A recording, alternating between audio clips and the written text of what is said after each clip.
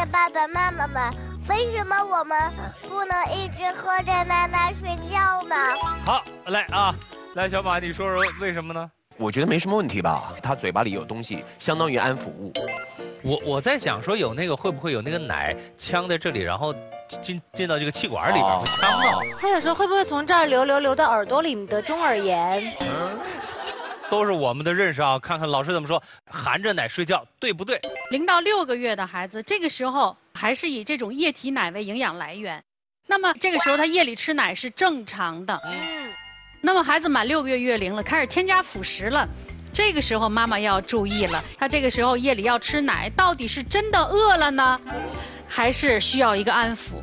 所以讲到这儿的话呢，还是要区分一下，就是说什么叫做奶睡？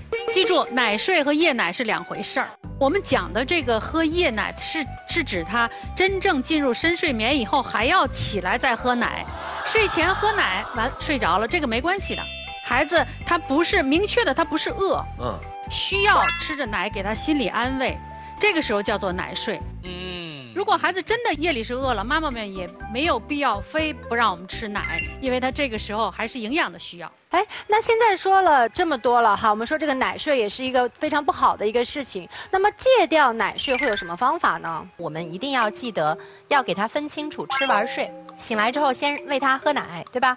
喝完之后我们让他玩一会儿，然后到了睡觉的时候就让他睡觉了。但是睡觉的时候，睡觉之前，我们就不喂他喝奶了。这样的话，小朋友他就很容易把奶睡这个习惯改掉了。我们现在有很多妈妈形成一个误区，孩子可能一哭，我就马上去喂奶了。是。事实上，孩子哭有很多很多原因，他有可能冷了、热了。那我们如果总是他一哭我们就去塞奶，并不是特别的恰当。啊，听明白了，不仅要听明白了，而且要学以致用。